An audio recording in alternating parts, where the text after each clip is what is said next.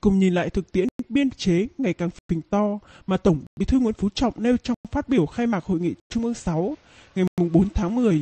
Từ đó dẫn đến yêu cầu bức thiết tiếp tục đổi mới, sắp xếp tổ chức bộ máy của hệ thống chính trị.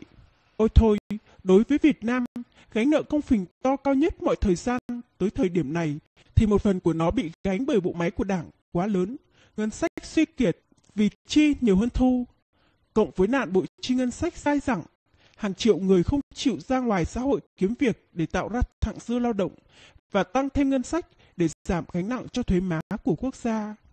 Đó là những người trong công chức đảng viên bộ máy nhà nước quá đông. Nền kinh tế sản xuất ra cái GDP có khoảng 203 tỷ đô năm 2016. Số lượng cấp bộ trưởng, cấp phó, rồi nhiều cấp khác lớn hơn gấp nhiều lần bộ máy công quyền của chính quyền. Liên bang Mỹ đó là nền kinh tế Mỹ lớn nhất thế giới, có cái GDP là 18.569,1 tỷ đô. Vậy mà mới đây, chính quyền Mỹ còn cắt giảm biên chế nhà nước. Đối với Việt Nam là quốc gia hy hữu trên thế giới, mà tôi chỉ xét riêng lĩnh vực kinh tế của họ, thì có vẻ Việt Nam rất nghiện hai món ăn, kinh tế và tài chính. Bộ máy ban bộ này đông đảo, bao trùm khắp nơi trên đất nước này. Có lẽ vì ham làm kinh tế hay đi tắt đón đầu, nên họ lập ra ban bộ chuyên trách về kinh tế đông hơn quân nguyên. Muốn cắt giảm bộ máy cồng cành, thì trước hết ông Nguyễn Phú Trọng, Tổng Bí Thư, cần phải cắt giảm cái bộ máy của ông này đi cái đã để mà làm gương và cắt giảm bộ máy chính phủ nữa. Cụ thể đầu tiên là Quốc hội Việt Nam là tôi chưa từng thấy có nơi nào trên thế giới mà nhiều cấp phó như vậy.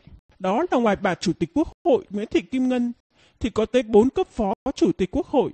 Đó là những cấp phó là Tòng Thị Phóng, Phùng Quốc Hiển, Đỗ Bá Tị, Uông Chu Lưu, rồi lại sản sinh ra ở đâu đó ông bà Nguyễn Hạnh Phúc với chức danh Tổng Thư ký Quốc hội, rồi dưới nữa là mấy phó Tổng Thư ký Quốc hội. Và trong hội này còn có nhiều ủy viên ban thư ký.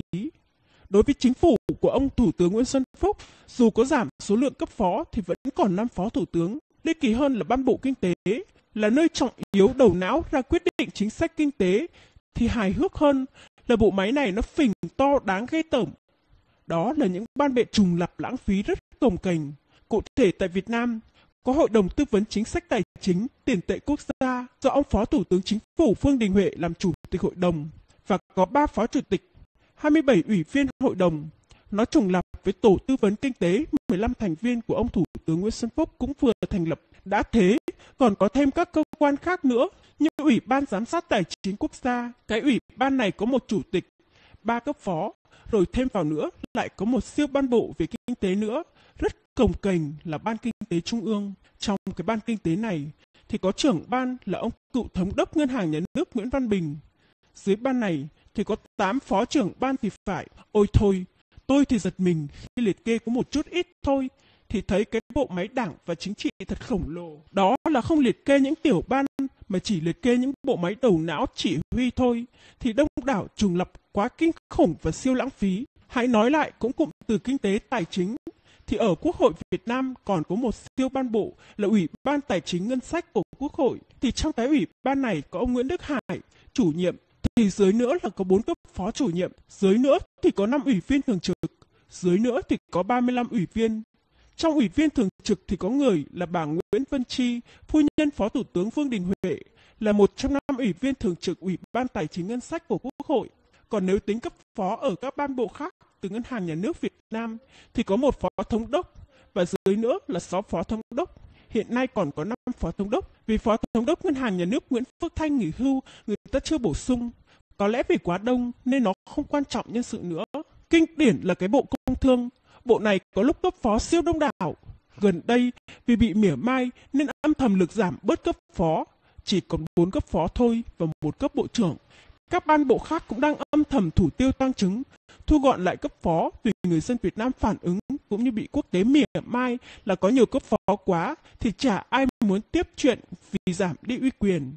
Chẳng hạn khi nước Mỹ, Nhật, Đức, Hàn Quốc họ chỉ có một cấp tổng trưởng và một cấp phó từ bộ máy chính phủ như tổng thống, thủ tướng cho tới các ban bộ về kinh tế ngoại thương thì việc một cấp phó nói ra rất có trọng lượng được thiên hạ nể trọng và dè chừng theo dõi ghi chú. Còn đối với Việt Nam, còn đối với Việt Nam thì quốc gia này có quá nhiều cấp phó, thậm chí là cấp phó thủ tướng là khi những nhân vật cấp phó này đại diện cho quốc gia, nói ra ở nhiều diễn đàn quốc tế thì chả có ai nghe. Và họ cũng chẳng thèm chú ý cho mất thời gian, vì có nhiều cấp phó thủ tướng quá thì biết nghe ai và tin ai bây giờ. Trước đây, bộ máy chính phủ của cựu thủ tướng Nguyễn Tấn Dũng thì có đến 7 hay 8 phó thủ tướng. Kết luận của tôi là kinh nghiệm của Đức, dù là đại cường kinh tế lớn nhất tại châu Âu và là siêu cường quốc có nền kinh tế thứ tư trên thế giới, mà có phẩm chất tốt nhất thế giới, thì báo cáo theo dõi kinh tế cho chính phủ Đức. Chỉ có dăm ba nhân vật, gọi là hội đồng các chuyên gia kinh tế của Đức mà thôi, và vài cơ quan chuyên trách. Theo dõi phân tích thống kê kinh tế Đức rất ít ỏi, nó không có chân đứng cho sự trùng lập nhân sự hay bộ máy nào ở đây cả, kể cả là tay chân người nhà vào đó.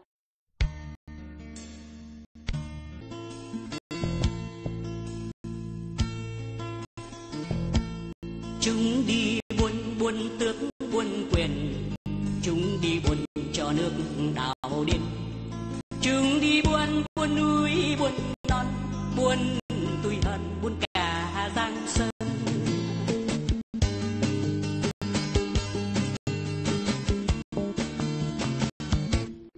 Chúng đi buôn buôn sắc buôn sầu.